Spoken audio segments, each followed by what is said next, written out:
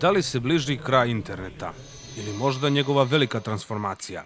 Dosta toga zavisi od spornog akta sporazuma. U globalnom svijetu sve je globalno akta bi mogla potencijalno da ima katastrofalne posljedice po sve građane svijeta, uključujući sad naravno i građane Crne Gore.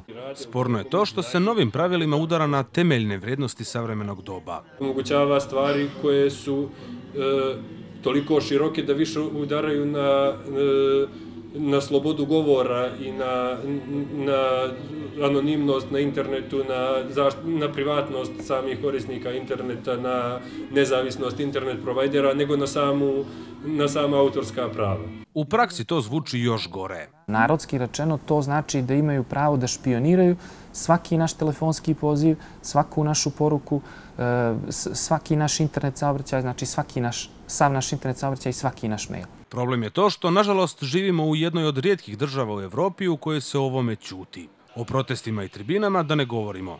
U vladi kažu da sporazum još nijesu zvanično dobili i dodaju da ipak rasprava neće izostati. Ja sam siguran da taj sporazum, a u, koga dobijemo u zvaničnoj formi, da siguran sam da bi se sigurno pokrenula i šira rasprava o njemu, jer je, jer je sigurno i neophodno pokrenuti jednu raspravu da se vide sve prednosti i mane. Možda se u raspravu aktivno uključi i premijer koji sam voli da se oglašava na Facebooku.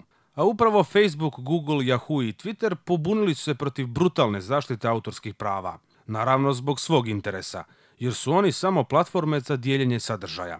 A njih nije ni bilo prije recimo 30 godina. Zato se zaštita autorskih prava ne može posmatrati iz te perspektive.